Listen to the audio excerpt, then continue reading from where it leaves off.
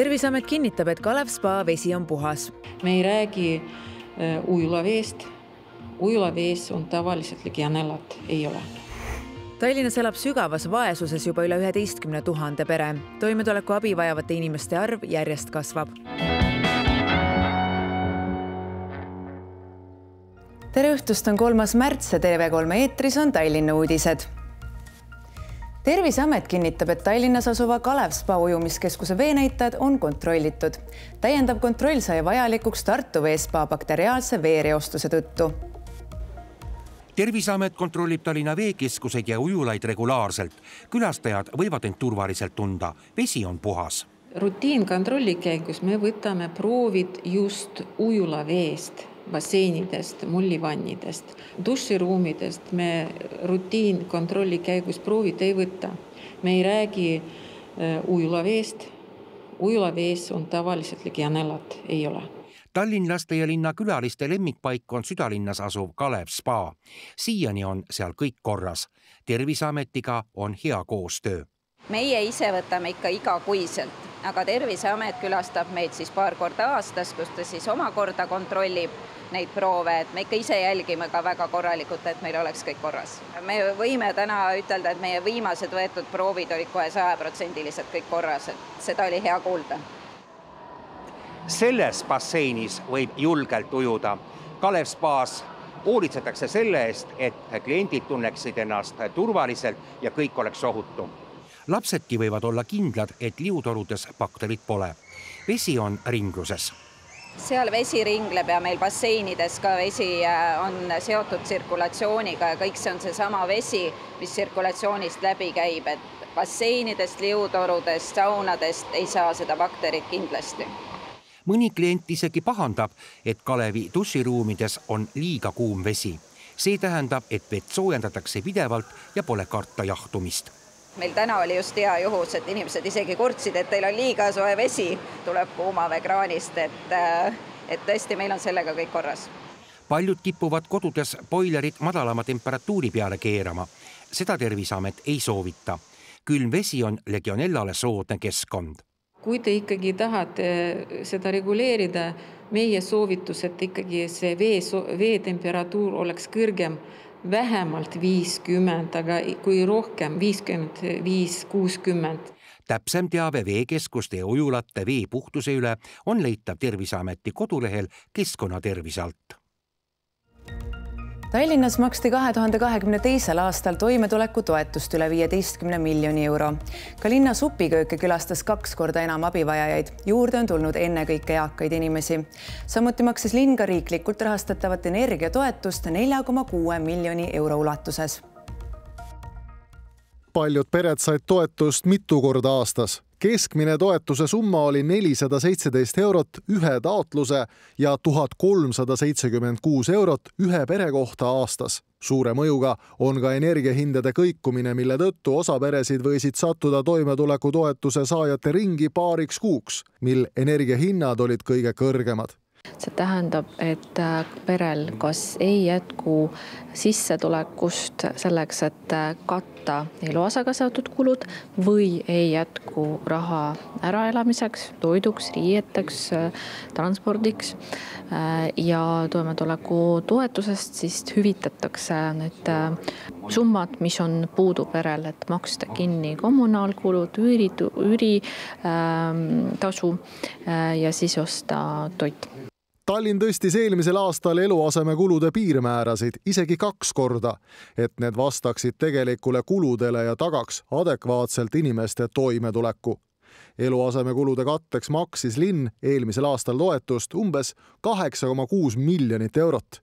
üle-eelmisel aastal oli see summa kolm koma viis miljonit eurot toimetulekutoetuse piirmäär on aga hetkel riigi poolt kehtestatud kakssada eurot tegelikult selle suurus on ka küsitav ja meie hinnangul ei ole see piisav. see on praegu kakssada eurot äh, ainukese või esimese pereliikme äh, kohta ja siis iga järgmise täiskasvanu kohta on see sada kuuskümmend eurot ja lapse kohta kakssada nelikümmend eurot, sellest peab piisama, et äh, ennast ära toita, et Tallinn võimaldab abivajajatele ka supiköögi võimalust võrreldes kahe tuhande kahekümne esimese aastaga sööjate arv kahekordistus veel viimaseid päevi saame Tallinna kesklinnas muretult liigelda, sest juba tuleval teisipäeval algavad Vanasadama trammiliini ehitustööd, millega kaasnevad ka ulatuslikud liikluskorraldusmuudatused. autojuhtidel palutakse võimalusel kesklinnas liiklemist vältida või kasutada ühistransporti. oluline on teada, et muudatused tulevad ka bussigraafikutes ja seitse bussiliini suunatakse ümbersõidule Vanasadama trammiliini ehitustöödega alustatakse seitsmendal märtsil. esimesel etapil suletakse Gonsiori tänav linnast väljuval suunal Kivisilla peatuste juures. ümbersõidule lähevad bussiliinid number üheksa, üksteist, kolmkümmend üks, nelikümmend kuus, viiskümmend viis, kuuskümmend seitse ja kuuskümmend kaheksa. Need bussiliinid hakkavad sõitma kas Teatri väljaku või Kaubamaja kaudu. teine võimalus, et minnakse hoopis Tartu maantee ja Kreutzwaldi tänava kaudu linnas liiklejad peavad arvestama sellega, et tuleb tulevad ulatuslikud liikluskorralduslikud muudatused, ühistranspordiga oleks ka selline palve, et kõik hoiaksid ennast kursis, kel vajadus on eh, transport.tallinn.ee lehe pealt. et seal on need muudatused nagu õigeaegselt väljas ja üleval, aga keeruline see periood saab olema, jah suuremad ümbersõidud on tähistatud, need hoomavad Laagna teed, Juhkentali, Liivalaia tänavat ja Reidi teed. autojuhtidel soovitatakse kasutada neid marsruute. täpsemad ümbersõiduskeemid on leitavad võrgu leheküljelt tallinn.ee kaldkriips Vanasadama tramm tuleb ümber planeerida kogu oma elu tegelikult, et kui palju mul läheb aega, noh, eriti arvestades, et kindlasti tulevad liiklusummikud, sest noh, antud hetkel ähm, Reidi tee liiklusvood on päris tugevad ja suured ja, ja mahukad ja äh,, ja kogu see ots on tegelikult noh, tõesti koormatud autodega ja kui kõik need sõidukid liiguvad äh, nüüd teises suunas, et äh, mööda alternatiivset teed, näiteks mööda Liivalaiat, no me ei pääse selle sellest need liiklusummikud tulevad. võimaluse korral palutakse aga inimestel üldse hoiduda autoga kesklinna sõitmisest ja eelistada ühistransporti. sadamas algab töö neljateistkümnendal märtsil, kui suletakse liiklus Kai tänaval. sadamasse ja kruiisiterminali pääseb aga kogu ehituse vältel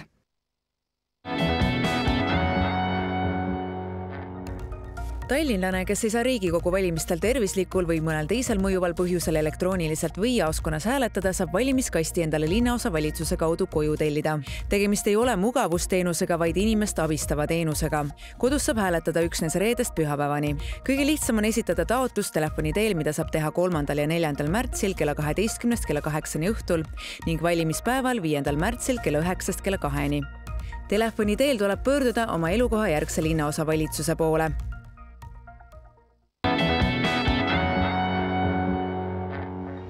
Tallinna Rae stipendiumi konkurss laieneb magistrantidele ja doktorantidele üle Eesti ning suurenevad ka makstavad stipendiumid. Rae stipendiumi saavad taotleda õppurid, kes oma uurimustöös käsitlevad Tallinna tegevusvaldkondi ja aitavad sellega kaasa linna arengule. Tallinna linn tõstis stipendiumi suurust magistrandile kahe tuhande euroni ning doktorandile vastavalt kolme tuhande euroni kui enne puudutas konkurss üksnes Tallinnas asuvaid kõrgkoole, siis edaspidi võimaldatakse stipendiumi taotleda kõikidel Tallinna linnaga koostööleppe sõlminud rakenduskõrgkoolide ja ülikoolide magistrantidel ja doktorantidel sõltumata asukohast. konkurss algab esimesel oktoobril Tallinna Keskraamatukogus esines maailmarändur, kirjanik Kertu Jukkum, kes on käinud enam kui kaheksakümnes riigis. sündmusega algas raamatukogudes uus kohtumiste sari Liikumine loeb. teine kohtumine toimub üheteistkümnendal märtsil Pirita raamatukogus, siis tuleb liikumisest ja spordist rääkima olümpiavõitja Erki Nool liikumisaasta puhul kutsutakse kõiki Keskraamatukokku kohtuma sportlaste ja liikumise propageerijatega, kes on ise kirjutanud või kelle kohta on kirjutatud raamatuid. üks neist on Kertu Jukkum. kuidas siis Kertu oma vaimu värskena hoiab ning alati nii heas toonuses püsib mul on väga raske võrrelda aega, mil ma ei liikunud üldse. see aeg on ka minu elus olnud, aga seda ma võin küll öelda, et viimased kümme aastat, mil ma olen väga aktiivne liikuja ei ole mul olnud, äh, ma, ma ei, ma ei ole ebausklik, ma ei hakka sülitama üle õla, aga mul ei ole olnud ühtegi vaimset probleemi, ma ei tea kõigest sellest, millest tänapäeval räägitakse, et on unehäired ja ärevusprobleemid. Ja depressioon, ma ei tea, ma tean seda, et kui mul on halb tuju või ma tunnen, et stressi on ülemäära palju, siis ma lähen jooksma. äärmisel juhul, kui on äh, keerulisemad vajad, siis lähen rändan kahe, kaheksasada kilomeetrit Camino teel või siis jooksen maratoni ja asjad saavad korda, siin ei ole mitte mingisugust kahtlust, et need on omavahel ju seotud ja ka see on kindlaks tehtud, et depressiooni parim ravi ja ennetus ongi liikumine, me liigume ikkagi hirmus vähe, kui panna nüüd meile kõigile kellad külge, siis kui palju me tegelikult igapäevaselt liigume sellest osast, mida me peaksime minimaalselt liikuma selleks, et olla terved, siis need numbrid on jahmatavad, enne kui me nii-öelda kellad külge paneme. liikumine loeb, kohtumised on kõigile tasuta. lisainfo veebilehel keskraamatukogu.ee. Haru raamatukogudes saab siis tutvuda ka meie äh, kogus olevate spordivahendite ja liikumisvahenditega, mida kõik lugejad tasuta laenata saavad, et meil on tõukerattaid, rulasid erinevaid palle äh, ja ka äh, trenni tegemiseks äh, lisavahendeid, näiteks joogamatid, raskused ning ka õuemängu aja, vaba aja sisustamiseks. teine kohtumine toimub üheteistkümnendal märtsil laupäeval kell kaksteist Pirita raamatukogus. rahvale tuleb külla olümpiavõitja Erki Nool.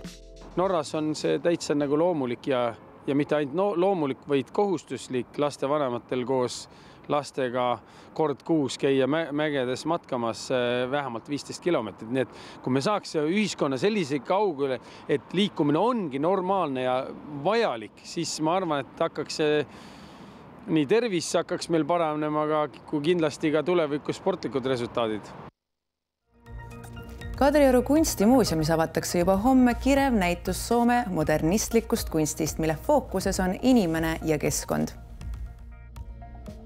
värvide tants, Soome modernistlik kunst on näitus, mis toob vaatajateni Eesti Kunstimuuseumi kogusse kuuluvad teosed kahekümnenda sajandi alguse Soome kunstnikelt. selleks, et, et saada aru, mida need teosed tähendavad konkreetse kunstniku loomingus või mida nad laiemalt Soome kunstis tähendavad, oleme siis Soome muuseumidest kõrvale toonud teisi teoseid, et seda pilti kahekümnenda sajandi alguse Soome kunstielust laiendada. Värvide läbimurre ja särava balleti periood jäid Soome kunstis küll lühiajaliseks, kuid näitusele on jõudnud mitmeid teoseid just vaba pintslitööd harrastanud maalikunstnikelt nagu Magnus Enkel, Ürja Ollila ja teised. siia näitusele tõesti on just nimelt jõudnud selline särav koloriit, eh, maastikuvaated, põnevad portreed ja ma usun, et kunstisõbrad tegelikult leiavad siit ka ühte-teist tuttavat, et kui mõelda meie enda Eesti kunsti peale, siis võib leida mitmeidki paralleele nende autoritega, kes meile, meile meie enda kunstiklassikast eh, tuttavad on. näitus jääb Kadrioru kunstimuuseumis avatuks kahekümnenda augustini homme saabub meile veidi tuulisem ilm ja ka keerulised teeolud. nüüd aga täpsem Tallinna ilmaennustus kolme päeva kohta. ööl vastu laupäeva on pilves ilm, sajab lund, hommikuks tuiskab. õhutemperatuur on null kuni miinus kaks kraadi. päeval on pilves ilm, ajuti sajab lund ja tuiskab puhub põhja ja loodetuul kuni viisteist meetrit sekundis, õhtupoole nõrgeneb, õhutemperatuur on null kuni miinus kaks kraadi õhtul on pilves ilm, ajuti sajab lund, õhutemperatuur on miinus üks kuni miinus kaks kraadi. pühapäeva öösel on pilves selgimistega ilm, aeg-ajalt sajab lund, õhutemperatuur on miinus kaks kuni miinus neli kraadi. Päeval on pilves selgimistega ilm, vahetevahel sajab kerget lund, puhub valdavalt loode ja läänetuul kaks kuni seitse meetrit sekundis, õhutemperatuur on miinus kaks kuni miinus kolm kraadi. Õõl vastu esmaspäeva on pilves selgimistega ilm, õhutemperatuur on miinus üksteist kuni miinus kolmteist kraadi päeval on pilves selgimistega ilm, vahetevahel sajab kerget lund, puhub muutliku suunaga tuul üks kuni seitse meetrit sekundis, õhutemperatuur on miinus kaks kuni miinus neli kraadi see oli reede, kolmas märts Tallinna uudistes. kõiki meie lugusid saab ka järele vaadata veebis pealinn.ee. kohtumiseni juba esmaspäeva õhtul kell kaheksateist viisteist. head õhtu jätku ja tegusat nädalavahetust